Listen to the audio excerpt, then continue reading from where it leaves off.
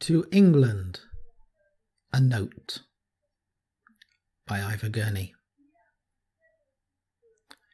I watched the boys of England where they went through mud and water to do appointed things.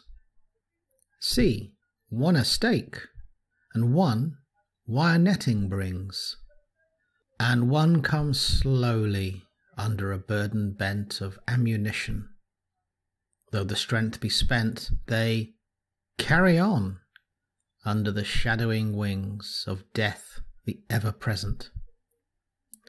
And hark, one sings, although no joy from the grey skies be lent.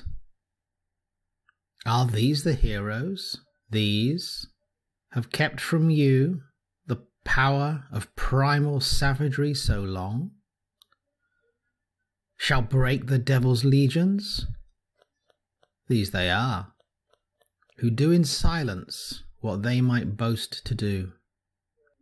In the height of battle, tell the world in song how they do hate and fear the face of war.